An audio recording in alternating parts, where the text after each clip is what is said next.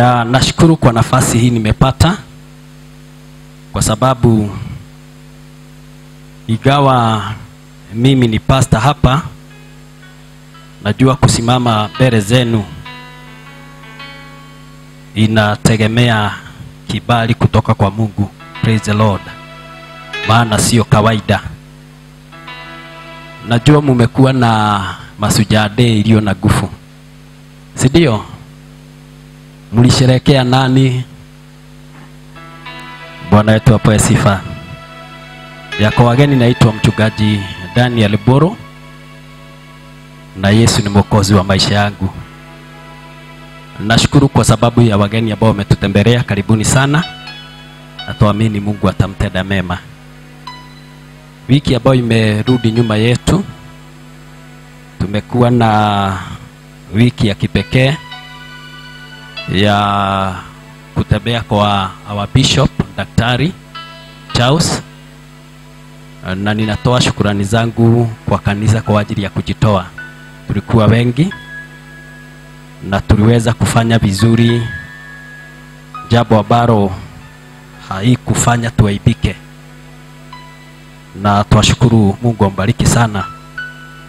Na Mungu alituambia yoyote ambaye alikuwa pale na wale ambao hawakuenda ya kwamba tutapata kufunguliwa. Praise the Lord. Mungu aliongea nasi juu ya kufunguliwa na akasema mtu akifunguliwa anapataga uwezo wa kushukuru, anapataga uwezo wa kuona mambo mapya. So vifungo vyote ambavyo vimekuwa katika maisha yako tuamini vitaondolewa na Mungu. So ukiona wale ambao walienda watakuelezea zaidi ya kile na tutabarikiwa. Leo ningetaka kuzungumza nawe kidogo na nataka kuongea nawe juu ya praise and worship, na sana sana siku ya leo ningetaka kudwell kwa sifa katika praise, kwa sababu tuna ibada ambayo imetugoja, lakini ningetaka nikuandae kidogo ili upate kuelewa maabudu na sifa ni nini. Lakini siku ya leo ningetaka nianzie na wewe nikuonyeshe kuabudu eh, sifa ni nini, na ili kile ambacho tunagojea. Okay, unajua ijapokuwa tumesema tuko na siku tatu za sifa na kuabudu, kuabudu na sifa tunastahili tuwe nazo each and every day. Praise the Lord. Unastahili uwe nayo sio tu kwa kanisa but even when you are at home, wakati uko nyumbani unastahili uwe na sifa na kuabudu.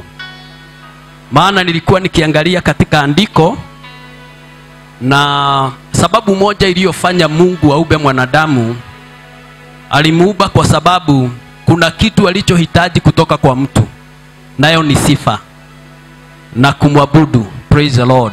Akaona wanyama hawawezi, akamuuba mwanadamu na akamweka katika mahali ambapo ataweza mwabudu na, na kumsifu vizuri, mahali ambapo ni Eden. Maana ya Eden it mean the presence of God. Akamweka kwa uwepo wake, ili kila wakati akija pale anapata sifa kutoka kwa mwanadamu.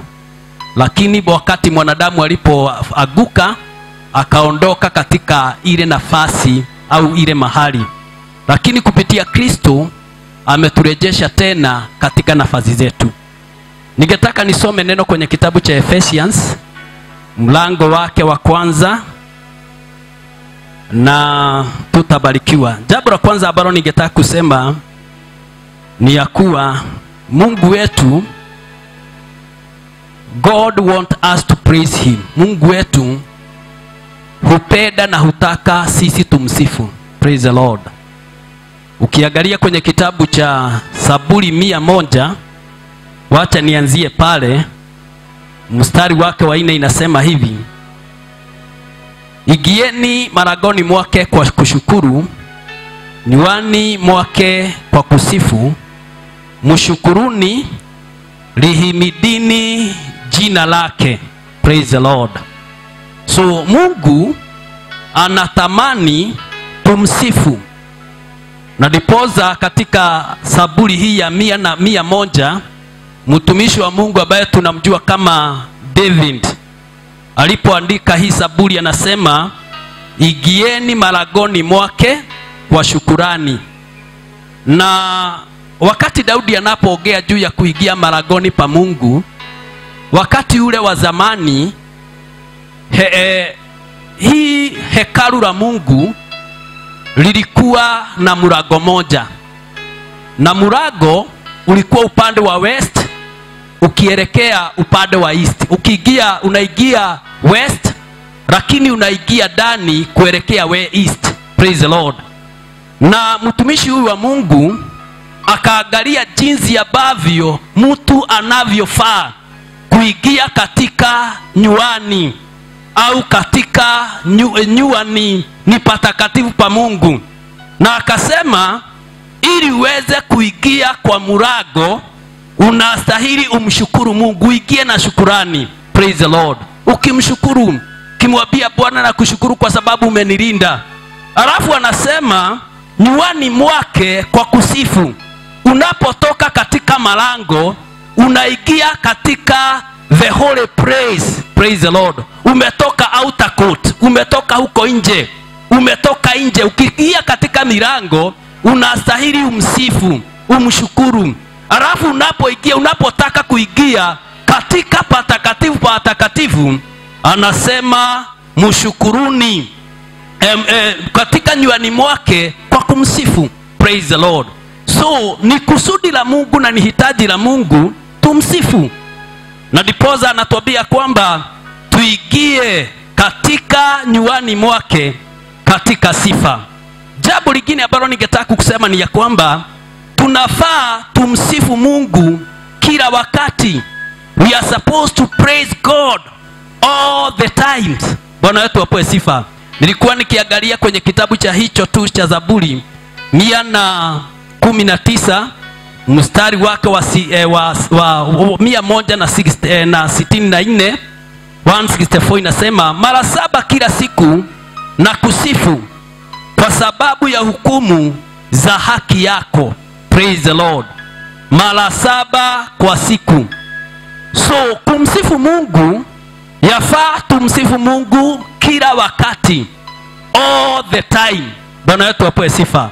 Na dipoza bibi natwambia mtumishi anasema mimi mara saba kila siku na kusifu. Sijui alikuwa amepaga masaa yake ya kumsifu mungu aje. Lakini anasema each and every day nashukua mara nashukua mara saba. Na hiyo mara saba sifanyi jambo lingine lakini mimi huwa na kusifu bwana wetu apoe sifa. Na kitu kingine nilichokuwa nikiangalia kwenye kitabu cha saburi 149 kidogo pale mstari wake wa wa sita na wa, wa sita na wa, na wa mpaka wa, kumi, wa tisa inasema sifa 149 mstari wake wa sita inasema sifa kuu za mungu na ziwe vinywani mwao na upaga mkali kuili mikononi mwao. Praise the lord. Sifa kuu za mungu na ziwe vinywani mwao. Siku ya leo ninapokuja ku hii ni utangulizi kidogo na kufanyia ya kwamba sisi kama kanisa tunafaa na inastahili tumsifu mungu kila wakati. Na ndipoza neno la mungu limetuambia sifa kuu za mungu na ziwe vinywani mwao. So sifa zinafaa ziwe vinywani mwetu. Na sifa ni nini? Kwa sababu kitu moja ambacho ninachojua ni ya kuwa mungu wetu hawezi jisifu. Na siku ya leo nitakuonyesha kidogo sifa ni nini? Ambacho biblia inasema ya kwamba sifa ziwe vinywani mwetu. Alafu anazidi anaendelea kusema na upaga mkali kuili mikononi mwao. Praise the lord. Unafaa umsifu mungu. Alafu biblia inapoongea juu ya upaga inaongea juu ya neno. Neno la mungu ambalo linakata kuili liwe mikononi mwako. Ili kufanya kisazi juu ya mataifa na adhabu juu ya kabila za watu. Praise the lord. So kama tunataka kufanya kizazi kujiripishia kupigana na wale ambao wamepigana nasi sifa za mungu lazima ziwe vinywani vyetu. Na tukifanya tukiwa na sifa vinywani mwetu tutakuwa na uwezo wa kujiripishia kizazi. Mstari wake wa nane unasema wawafunge mafalme wao kwa minyororo na wakuu wao kwa pingu za chuma. Praise the lord. So kama mimi nataka kushinda wafalme ambao wamekuwa kinyume na maisha yangu sifa za mungu zikiwa kinywani mwangu nitakuwa na uwezo wa kuwafuga wafalme kwa minyororo na wakuu wao kwa pigu za chuma. Mstari wa tisa unasema kuwafanyia hukumu walioandikiwa. Hiyo ndiyo heshima ya wataua wake wote. Praise the lord na vile vile kuwafanyia hukumu walioandikiwa. Bwana wetu wapewe sifa. So si, tunapomsifu mungu ni vizuri ujue ya kwamba tukimsifu mungu tutapata ushindi. All our enemies wengi wametukalia tutaweza kuwashinda katika jina la yesu. Nilikuwa nikiangalia katika maandiko maana tunapoangalia praise nimesema nimeuliza kidogo nikasema what is a praise? Sifa ni nini? Na andiko la kwanza ambalo jina praise lilisikika na lugha ya kihibirania maana yake ni yanda. And yanda mean, eh, mean yunda. Jina yanda ni la kihibirania na maana yake ni yunda. Praise the lord. Na sifa mtu wa kwanza kutoa sifa katika bibilia tunamwona kwenye kitabu cha genesis mlango wa ishirini na tisa mstari wake wa thelathini na tano. Tukienda pale utaona mtu wa kwanza kutoa sifa. Biblia inasema katika mwanzo 29 mstari wake wa 35 inasema aka, akapata miba tena akazaa mwana. Akasema mara hii nitamsifu bwana. Kwa hiyo akamwita jina lake yuda akaasha kuzaa. Praise the lord. So tunapokuja kuangalia jina yuda au yada maana praise maana etemini yada na kihibirania na yada ni kusifu. Nilikuwa nikiangalia katika tafsiri nyingi moja ilikuwa inasema it is to give convention, eh, convention of thanks praise the lord. So wakati alipopata huyu mtoto ni, ni lea ambaye hakuwa anapata watoto. Na alipompata huyu mtoto wake wa kijana kwa sababu hakuwa na kibali hakuwa anapendeka biblia inasema ya kwamba akamwita yanda akasema hii ni sifa. Na mtafsiri mwingine alikuwa anasema sifa yada ni kugama waziwazi. Praise the lord. Ni kutangaza waziwazi. Wazi. praise the lord. Ni kutangaza unaposimama na unatangaza ukuu wa bwana.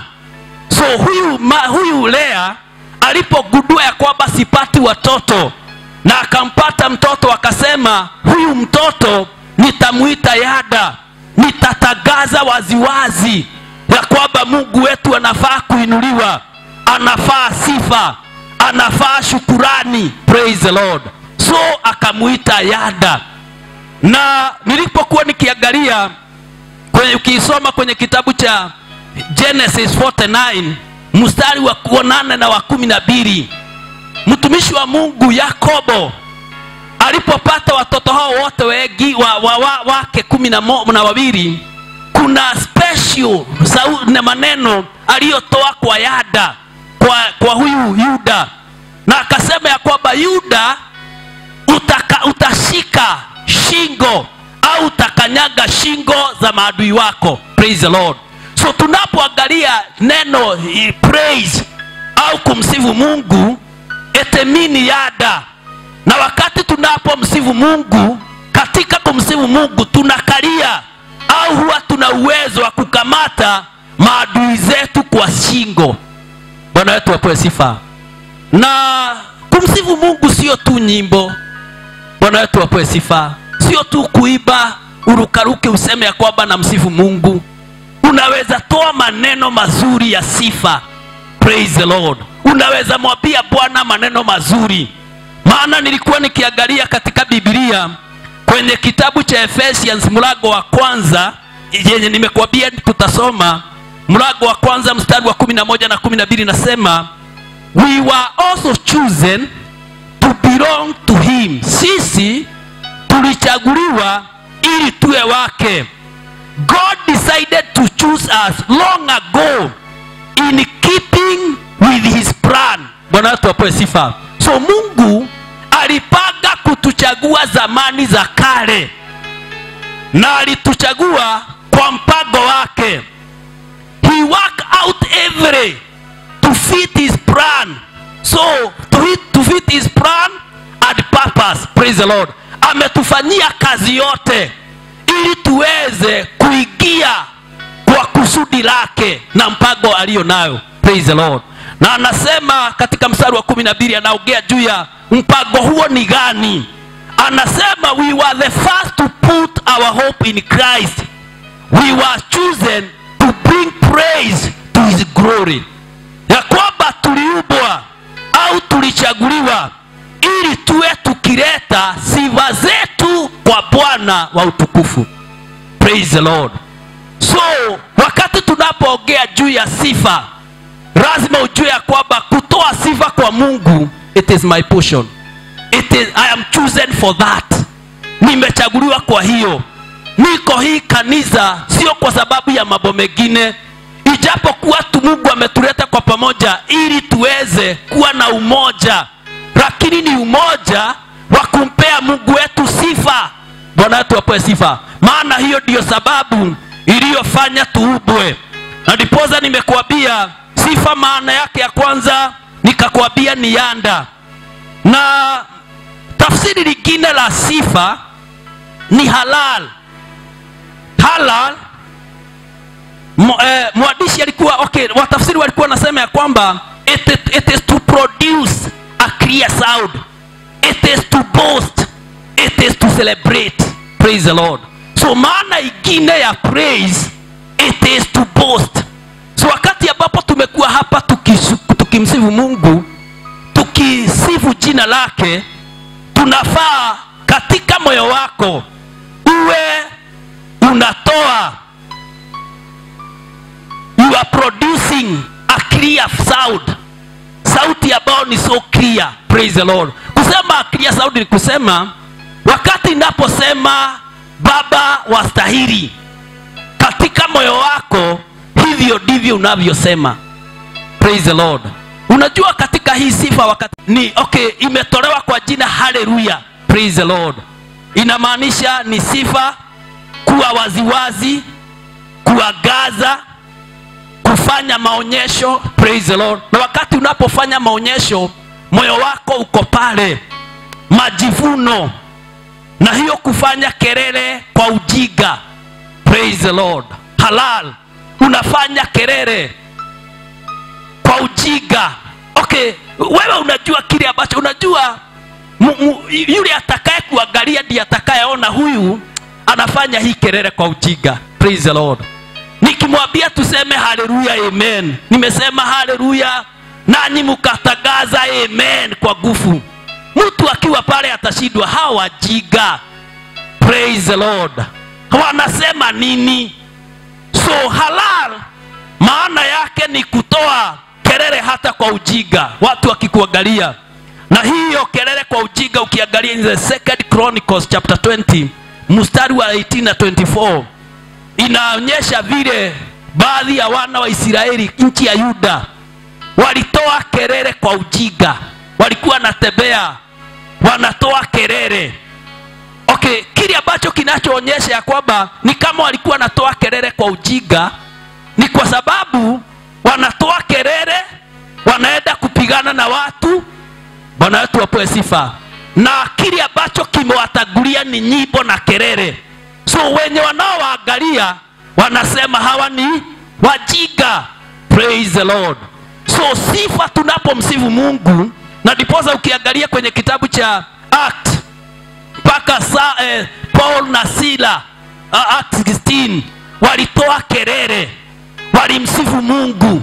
Na unakuta ile kelele waliotoa wakaselebrate, wakabosti wakiwa wamefungwa. Minyororo iliweza kuaguka na wakafunguliwa. Praise the lord. So sifa it mean halal kupiga ku- eh, kupiga kelele kwa ujiga unaweza payuka na kusherekea. Praise the lord. Neno lingine ambalo linalotumika katika sifa ni tehilal kusifiwa. Praise the lord. Wimbo wa kumtukuza bwana. Eh, tehilal ni kusifiwa. Maana yake ni kusifiwa. Unamsifu okay, unamsifu yeye. Una uh, una, una, unamwelezea maneno ya kumsifu. Then ni wibo wa kumtukuza bwana. Unaiba wibo kusudi lako kuu ni kumsifu huyu mungu. Praise the lord. Wacha nisome neno kidogo kwenye kitabu cha zaburi 66 mstari wake wa 28 unasema hivi.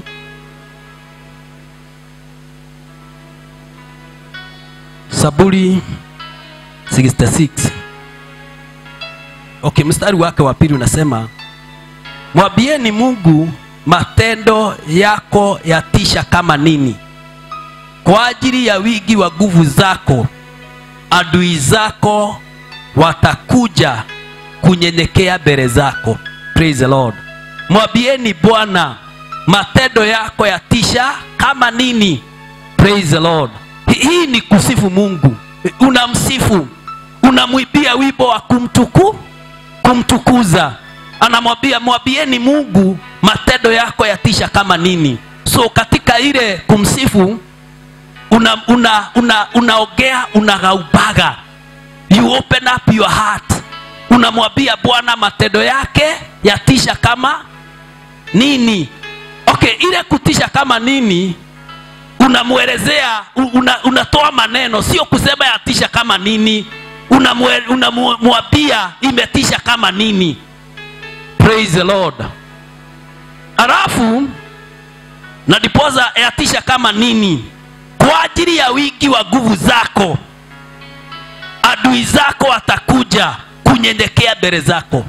Praise the lord. So hii ni maneno ambayo nimekuambia it is tehilal kusifiwa unamsifu mungu. Na kwa nini tunamsifu mungu? Ninaogea hii maneno kwa sababu mungu wetu hula sifa. Chakula cha mungu ni sifa. Praise the lord.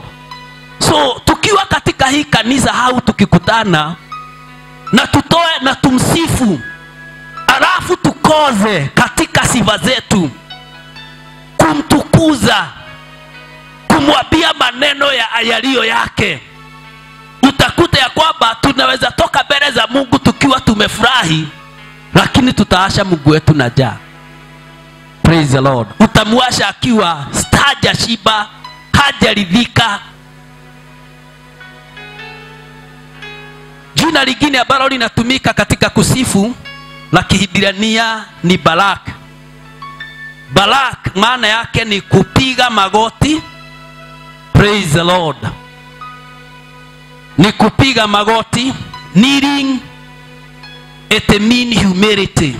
It is a sign of humility. Unapiga magoti. Kubariki mungu kama tendo la heshima na upendo. Unabariki mungu kwa tendo la heshima. Praise the lord. Unapiga magoti unalala chini.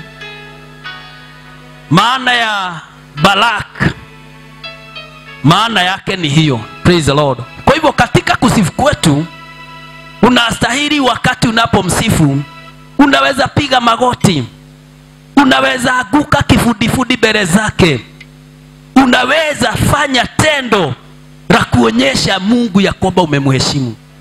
Praise the lord. Yaani kile ambacho unatenda unamsifu lakini mungu akiangalia akiwa juu biguni anaona huyu mtoto wangu tendo ambalo analolifanya anaonyesha kwamba ananiheshimu. Jina lingine ambalo linatumika katika sifa ni zama. Zama ni ni chobo ni it is touching or playing the strings instrument. Praise the lord. Ni kama vile unakuta tukiwa hapa tunapiga keyboard tuko na drum set tuko na karingaringa tuko na hizo zingine praise the lord. That means zama unamtukuza bwana katika hali ya kutumia choo vyombo. Bwana wetu apewe sifa. Hata ukiwa kwako nyumbani. Ninakumbuka tukiwa kwetu nyumbani zamani zile. Maana hakukuwa na vitu. Lakini tulikuwa tunatumia hata sahani. Mnapiga sahani sufuria. Lakini kusudi lenu ni mnamsifu mungu. Itemi, inaitwa za- zama. Praise the lord. So katika hali ya kumsifu mungu inastahili iambatane na hizo zote kupiga vyombo na zina ten katika ile iambatane na sauti. Bwana wetu apewe sifa. Neno lingine ambalo linatumika katika kumsifu mungu ni chabak shabak maana yake it is shouting with loud voice. It is shouting with loud, uh, sound, uh, with loud voice. Ukisoma kwenye kitabu cha saburi 47 inasema hivi. Psalms 47 inasema enyi watu wote pigeni makofi. Pigieni mungu kerere kwa sauti ya shagwe. Praise the lord.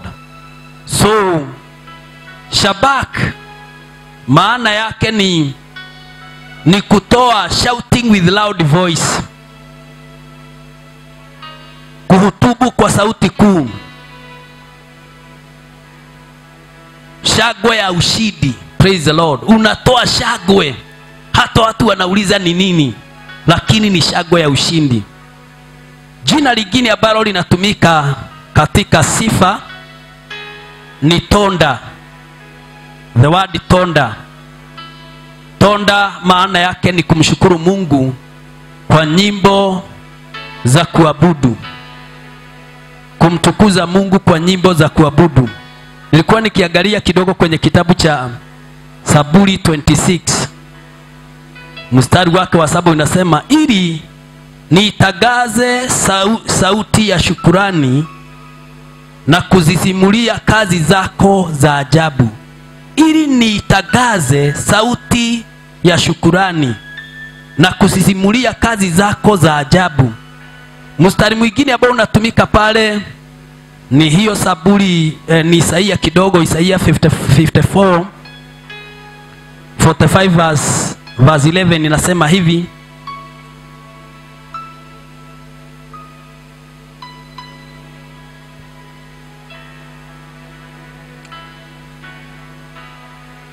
mstari wa kumi na bwana mtakatifu wa israeli na muumba wake asema hivi niulize habari za mambo yatakayokuja mambo ya wana wangu na habari ya kazi ya mikono yangu. Haya niyaagizeni praise the lord.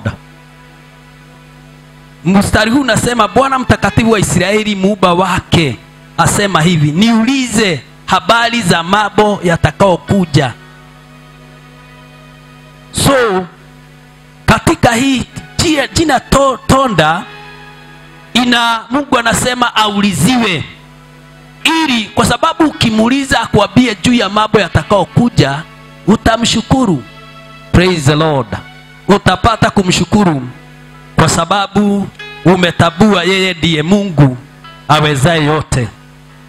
Kitu moja ambacho ningetaka kuuliza nimekuonyesha kidogo mambo kadhaa juu ya what is praise. Jambo lingine ambalo nilikuwa nikiangalia why should we praise the lord? Kwa nini tumsifu mungu? Kwa sababu tumekuta daudi katika maneno ambayo yote mengi tumesoma na nimesoma kidogo. Amejaribu kuelezea na anasema ninamsifu mungu. Na unakuta ya kwamba sio tu kusema lakini anatoa maneno ya sifa.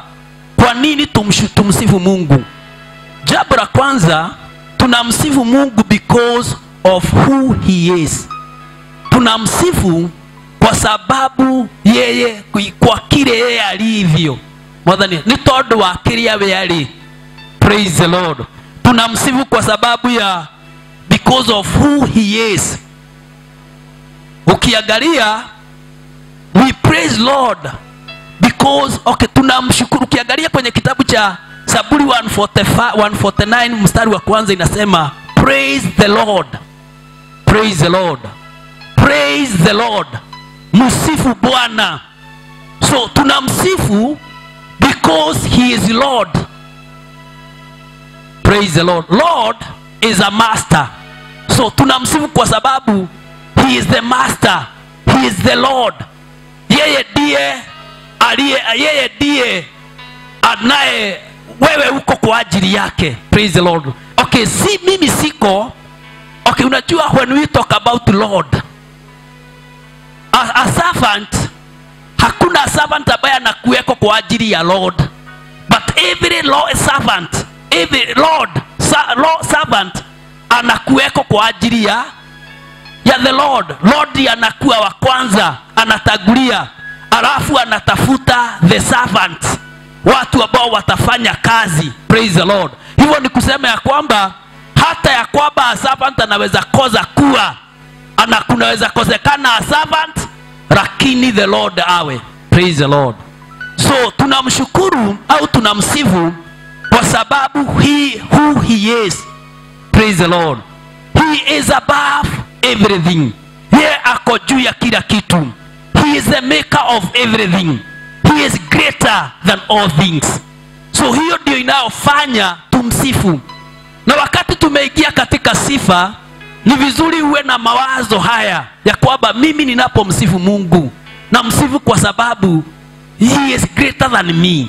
Praise the lord. Na ndiposa ukiangalia watu kama paul wakiwa wamefugwa kwa nini wakamsifu mungu? Kwa sababu alijua ya kwamba he is greater than us. Praise the lord hata tusipomsifu hata koza kuitwa mungu. Ni privilege tumepewa ya kumsifu. Na tumeangalia katika efesi nikasema ya kwamba tulichaguliwa. Na tulichaguliwa kwa ajili ya hiyo sababu. So nikikosa kumsifu na ndiposa unakuta yesu in the book of uh, in the new testament anasema maneno kama haya. Anasema mkikosa kunisifu nitafanya mawe na yatanisifu. Praise the lord so kusifu mungu it is a privilege. Ni wewe utabue ni nani. Ukikosa kumsifu anaweza fanya vitu vingine vimsifu. Ndege watamsifu. Anaweza fanya milima imsifu. Kuna mahali katika uh, ukiangalia kwenye kitabu the book of psalms inasema ya kwamba niliona vilima vikirukaruka. Bwana wetu wapwezi inapomwona mungu unakuta ya kwamba hata maji hata miti. Mwibaji moja aliiba akasema ya kwamba na miti inapiga makofi wakati inapopeperushwa na upepo. So tunamsifu mungu kwa ajili yeye ni nani? Because of who he is. So nisipomsifu nisipokoza kuona who he is siwezi msifu. Bwana wetu wapewe sifa. So kama sitapata revelation ya kuona mungu ni nani so na hii ndio hii ni kusema ya kwamba vile tunavyomsifu it depend na revelation yenye tuko nayo. Unajua kuna mtu ambaye hata kana kwamba tunamsifu mungu anaonaga mungu kana kwamba it is a certain spirit. Ni kama ha, ha, hana revelation ya mungu hana hana picha ile ndani yake who is god. Na ili uweze kumsifu mungu lazima uwe na hiyo sifu, na, hu, na hiyo pisha who he is. Praise the lord. Yeye ni nani kwangu yeye ni nani? Yeye ameniumba sio mimi nimemuumba. Ukiwa na hiyo picha ndani yako una uwezo wa kumsifu hata zaidi. Unaweza aguka kama vile tumesoma kwe sifa. Unaweza fanya kama mtu mjiga praise the lord. Unaweza fanya kitendo la ujinga. Kama vile lile ambalo lilifanywa na david hata mke wake alipomtazama akasema na wewe nimeona wewe ni mjiga Ume, umefunua ushi wako kwa mama. Praise the lord. Lakini david anamwambia mimi sina shida. Mimi nilikuwa mbele za bwana. Nimetabua huyu yesu na nilikuwa nimebeba saduku la agano the presence of god. So nikiwa before the presence of god sikuwa na aibu. Bwana wetu apewe sifa tukitabua who is god na tumtabue ni nani katika sifa zetu hatutakuwa na aibu hatutakuwa na ugwana. Bwana wetu apewe sifa. Yaani unapiga makofi kistailo kingine na ugwana mwingine kwa sababu unaibikia mtu fulani mwa praise the lord. Fanya vituko watu washagazwe wa, wa na wewe lakini ni kwa sababu katika moyo wako na katika picha unayoiona unajua who is god. So praise tunamshukuru we, we praise him kwa sababu tunajua yeye ni nani. Praise the lord. Because of who he is. Jambo lingine katika praise we glorify him. We glorify god. Tunampea utukufu bwana wetu apewe sifa. Nilikuwa nikiangalia kwenye kitabu cha zaburi kidogo hamsini.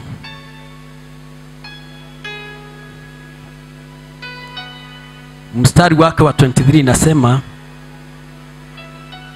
atoae dhabihu za shukurani ndiye anayenitu anayenitukuza. Naye autengenezaye mwenendo wake nitamwonyesha wokovu wangu. Praise the lord. So bibilia inaongea juu ya wale ambao those offer those who offer praise glorify me. Bwana wetu apewe sifa. Bibilia ya kiingereza inasema those who offer praises. Hii inaongea juu wale ambao wanatoa shukurani.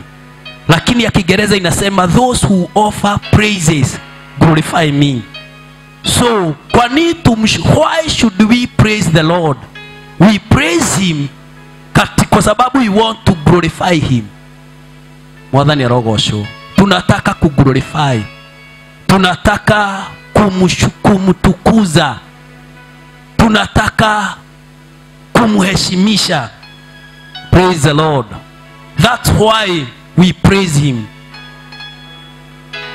Na inastahili iwe iwe our great desire.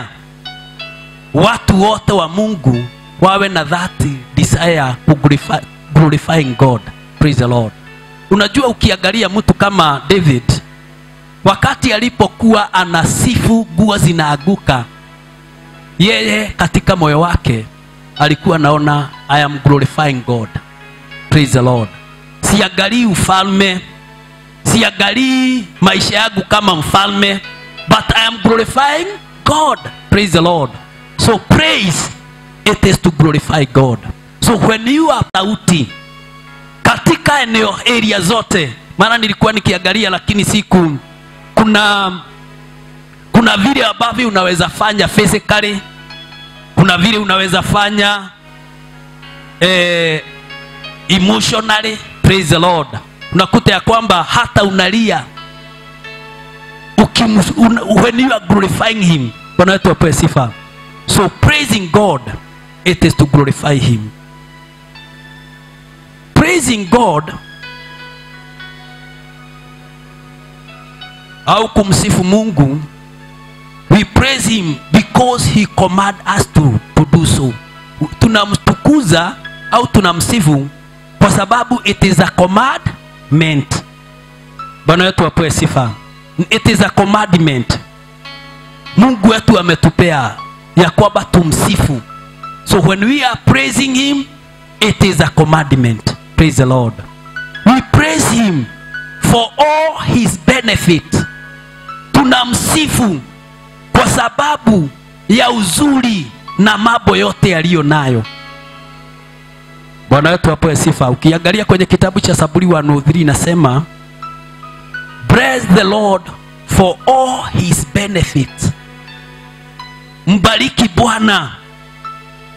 Msifu mungu kwa sababu ya all his benefit bwana wetu apewe sifa. So tunamsifu kwa sababu ya all benefit. benefit moja tuko nazo naona. Asubuhi niliamka asubuhi na tukawa na uh, uh, my brother david na nikachukua viatu nikavaa. Nikaona sikuvaa opposite. Praise the lord. Yaani sikuvaa ya, ucho, ya kushoto kuu kulia. Nikagundua kumbe mawazo yangu yako sawa. That is the benefit. We can glorify him kwa sababu ya hiyo. Vile ulivyovaa nguo haukuvaa ikiwa galie alafu ukakibia hapa ulivaa vizuri. Praise the lord. Haukuingia kwa bafu. You, are not confused. So that is a benefit. Praise the lord. Hauko hospitali. Uko hapa ukimsikiza. Wengine wanatiwa pumzi. We, glory, we, we praise him because of all his benefit. Wewe uko sawa. Uko na akili timamu. Unatembea unaweza chuzi vipa kufanya hii au usifanye. Unajua kuna mtu hajui lolote. Ukimwashiria anaweza enda bila, bila mpango. We can praise him because of all his benefit. Unaweza kula kila chakula. Kile utariaga no ganoshuma kile ambacho haukuli ni chuma. You can unaweza mshukuru msivu because of all those benefits. Praise the lord. We, glorify, we, we praise him because of all his benefit kuna mambo mengi amekutendea uko na watoto wengine wanalia hawana. Wengine uko na mme wengine hawana. Uko na biashara wengine hawana. All those benefits praise the lord. Even what you are lacking unaweza glorify, unaweza praise him because atakupea. Bwana wetu apewe sifa. Mwathani arogocwo we praise him for his mighty act kwa sababu ya matendo yake makubwa.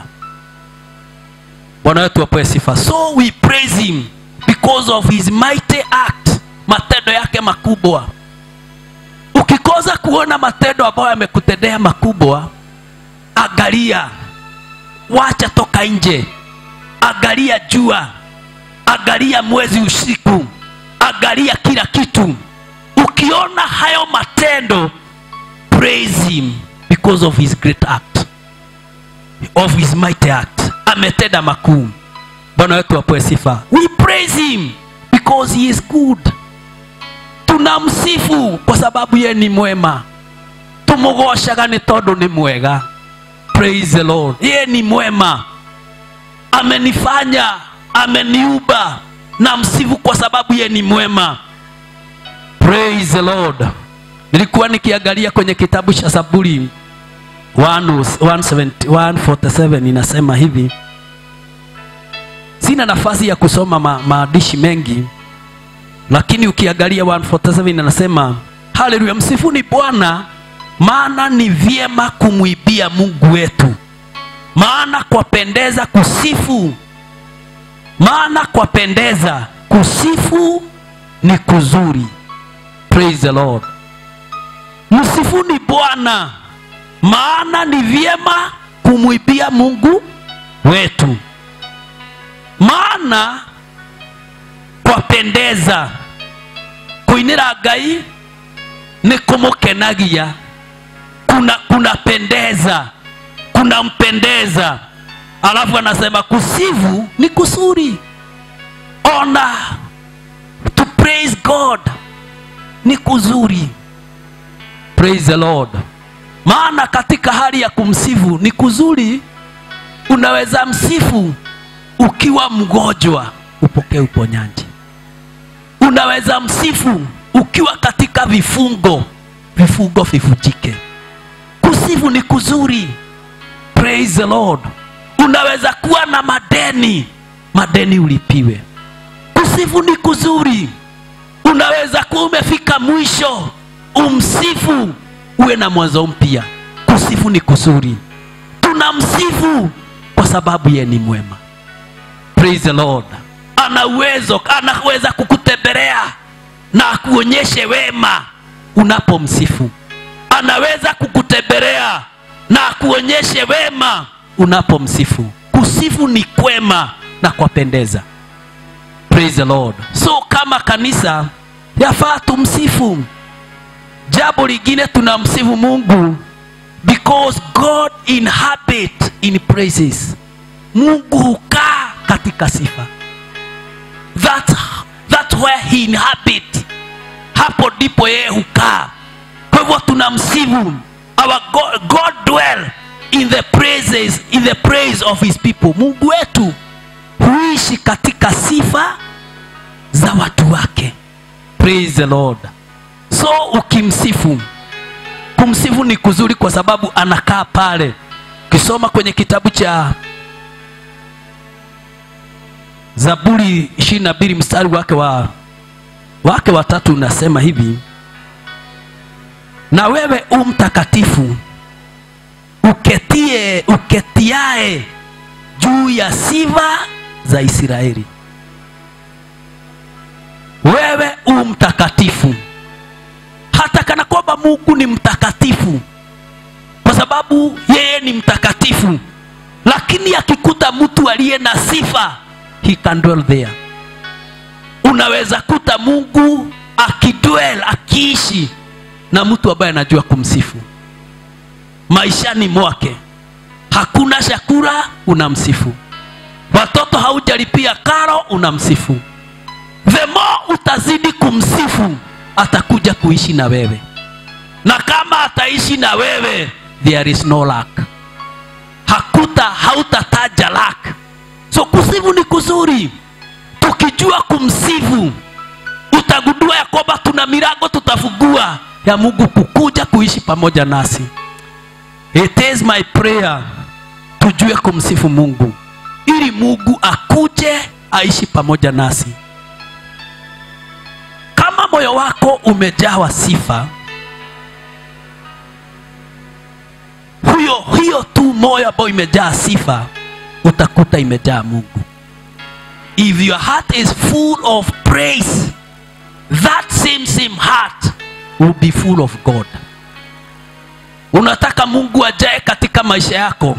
Unataka mungu ajae katika njia zako? Jua kumsifu kwa sababu yeye huishi katika sifa zake. Jambo lile lingine tunamsifu kwa sababu praise generate power. Praise the lord. When we praise him that praise will generate power. Nilikuwa nikiangalia kwenye kitabu cha cha, zaburi kidogo. Zaburi imejaa sifa. Tukijaribu kuangalia siku ya leo maneno ambayo daudi eh, zaburi imeongea juu ya sifa hatuwezi maliza. Praise the lord. Ukiangalia itefo mstari wake wa nne unasema heri wakao nyumbani mwako watakuhimidi daima. Heri ambaye nguvu zake zatoka kwako na njia ziendazo zayuni zimo moyoni mwake. Mstari wake wa sita wakipita kati ya bonde la vilio hulifanya kuwa chemichemi naam, mvua ya vuli hulivika baraka. Huendelea toka gufu hata gufu huonekana sayuni kila moja mbele za bwana. Praise the lord. So praise it generate power itakuondoa utaondoka from power to power. Nasema huendelea toka nguvu hata nguvu. Wakati unapojua kumsifu mungu utapitia katika bonde la vilio. Because you knew how to praise him hiyo bonde la kilio utaibadilisha na itakuwa vuli. Na, nayo mvua ya vuli hulivirika baraka. Utaibadilisha utalifanya kuwa chemichemi bwana wetu apewe sifa. Kile ambacho ulipitia kile ambacho ulipitia kiwe kikiwa kilio utakibadilisha kitakuwa kicheko. Praise the lord. Na ndiposa ukiangalia mama kama hana alipitia hii kivuli cha kilio. Lakini kwa sababu ya sifa alikibadilisha kikawa chemichemi ya baraka akakibadilisha kikawa chemichemi akapata watoto wengi akapata makuhani. So sifa unaweza kukutoa from praise, uh, this level to another it will generate power. So let us praise him because praise it will generate power. Praise the lord. Praise nilikuwa nikiangalia mwandishi anasema praise proceed victory. Precedes victory. Wakati ambapo umesifu sifa zinaleta ushindi. Praise the lord. Sifa zinaleta ushindi. Nilikuwa nikiangalia ukiona ukiangalia kwenye kitabu cha second chronicles chapter 20 mlango utakuta vile Jehoshafatu alichagua watu waende vitani, lakini kwa sababu ya praise ilileta ushindi. Hakufanya mambo hakupigana, lakini Biblia inasema alipofika penye watu wako alikuta wote wamekufa, kwa sababu praise iliweza kuvuta Mungu na ikaleta ushindi. Ninataka kusema siku ya leo katika sifa zetu zitaleta ushindi katika maisha yetu. Mungu atakuelekeza, Mungu atakushindania. Let us know how to praise him. Sina nafasi, lakini nitakuonyesha, wakati mwingine nitakuonyesha who should praise God, ni akina nani wanaofaa wamsifu Mungu. Halafu nitakuonyesha juu ya praise blessing za praise na kile ambacho kinaweza kuwa hindrance ya praise. Lakini kwa sababu sina nafasi ningetaka nifikishe hapo. Lakini ningetaka kwa maneno yetu tumsifu mungu because he is worthy. Yeye anafaa. We praise him because he, he it is proper to praise him. Praise the lord. We praise him because we will receive light desire. When we praise him utapata even the light desire. When you praise him. Kuna watu siku ya leo wako na a lot of desire. But when you praise him you are going to receive the right desire Biblia inasema the praising soul delight himself in the Lord and God give him the desire of his soul the desire of his heart. Wale ambao wanajua kumsifu Mungu Bwana atawafurahisha na Mungu wetu atatimiza chauku au the desire of their heart. Siku ya leo najua kuna watu wengi wako na mahitaji mengi wanataka Mungu awatendee. Wa Usifanye mambo mengine, just praise him.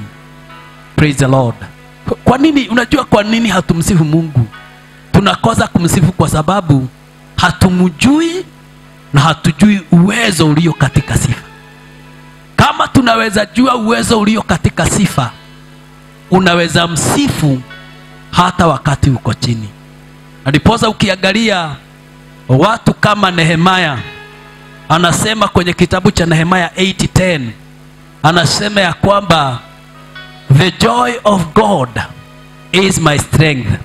Wakati namsifu Mungu, ninamsifu, ninapata furaha, na hiyo furaha inakuwa nguvu ya kunitoa hata katika shinda. Praise the Lord. Tukijua msaada ulio katika praise sababu praise nimekwambia hata sio kuiba. Unaweza ingia katika hii nyumba na useme ya kwamba leo hata wakati uko peke yako. Bwana wetu apoe sifa. Maana hii tunayofanyaga kwa pamoja ni tunafanyaga maybe 15 minutes. But you can have an hour two hours ya kumwambia bwana maneno ya kumsifu ukiwa peke yako na utakuta the more unamwambia sifa unampea sifa moyo wako utazidi kupanuka. Moyo wako utazidi kunona. Uchungu na uzito ambao umekuwa katika moyo utazidi kukuondokea. Ugumu utakuta ya kwamba umekuondokea na utagundua mungu ameshuka na ameanza kuishi pamoja na wewe. Maana mungu wetu aliye juu mbinguni anapenda watu ambao wanamsifu ili akae pamoja na wao bwana wetu apewe sifa. Nimekuwa nikiangalia katika nyakati hizi wakati tunaposema uchumi ni, uchumi ni mbaya. Instead of ya kumsifu na kumwambia regardless uchumi ni mbaya kunaonekanaje lakini twajua wewe uko na hatukuli uchumi. Kama tuseme kama habakuku aliyesema ya kwamba hata kana kwamba ng'ombe kiugo ki- ki, mahali ng'ombe zinalalaga itafungwa kodoo ziondoke. Alafu mitamayu mizeituni mikuu imwage maua isi- nisipate cha chochote. Akasema mimi nitamsifu mungu wa wokovu wangu. Why? Because nikimsifu the righteous shall live by faith. Praise the lord. Hawataishi kwa sababu ya hizo damayo hawataishi kwa sababu ya ng'ombe ya maziwa na nini lakini wataishi kwa imani. Praise the lord. So ni wakati wetu sasa tugeuke na tuseme ya kwamba sisi tutamsifu mungu. Ile ibada ambayo tunakuja kufanya hizo siku tatu tunataka tumsifu mungu mpaka mungu atoke juu biguni ashuke hapa. Tuone kuna sijui tulikuwa hapa maobi siku moja na mtumishi wa mungu this week wakati tumekuwa na maombi hapa mtumishi mmoja wa mungu akatwambia kwamba tumeomba mpaka ameona moshi imejaa kwa hii nyumba hii maombi ambayo tumefanya for ya one week. Alisema ya kwamba nimeona moshi umejaa katika hii nyumba. Praise the lord. We can call god from heaven. Na akishuka hata tuasha hivyo. Tukimsifu akishuka hata asha watu vile wanavyoishi. Wengine tumeishi katika madeni. Tumeishi bila furaha. Hakuna wakati unaposheka. Unaposheka kilio kinarudi. Lakini tukijua kumsifu atatimiza tamanio la mioyo zetu. Ningetaka tusimame tu mbele za bwana kidogo. Na kwa maneno yako madogo ma, au machache tumwambie mungu wetu wa mbinguni baba tunataka tukusifu. Tunataka tukusifu kwa sababu tumejua who you are. Wewe ni nani? Nilikuwa na, na, na nadhania wewe ni kama miungu mingine lakini nimetabua wewe haukuubwa wewe ndiye ume, umetuuba nimekuwa nikifikiria ya kwamba wewe una upungufu. Umsifu kwa sababu una miguu. Umsifu kwa sababu una mawazo mazuri. Umsifu kwa sababu mwili wako uko sawa. Na hata kana kwamba kuna kasoro katika mwili msifu kwa sababu ana uwezo wa kutenda hata katika huo udhaifu ulio nao ana uwezo wa kukutembelea. Ana uwezo wa kurejesha hata kile ambacho unahisi sina. He so faithful. Ana uwezo. Ningetaka tuchukue nafasi hii tumsifu tu kwa maneno. Msifu tu kwa sababu ya watoto. Msifu tu kwa sababu ya familia. Msifu kwa ajili ya biashara. Msifu kwa ajili ya kile ambacho ametenda katika maisha yako na ukimsivu atashuka kukaa juu ya sifa kwa sababu hu yeye hura sifa zetu. Atakuja atakula kile ambacho unamwambia. He is so hungry.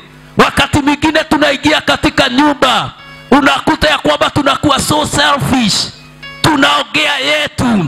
Hakuna nafasi ambayo tunashukua ya kumpea mungu sifa kumwambia who he is kumtabua kuglorify him kumwambia how good he is. Na wakati tunakoza kumwambia anarudi akikoza shakura na dipoza biblia nasema kuna wakati yesu alitembea na akakuta mkuyu lakini alipouangalia akasikia jaa akatafuta kitu kwa ule mkuyu. Lakini kumbe ule mkuyu haukuwa na matunda akaurani. Siku ya leo tukikoza sifa. Sifa zikikosekana ndani yetu tunaweza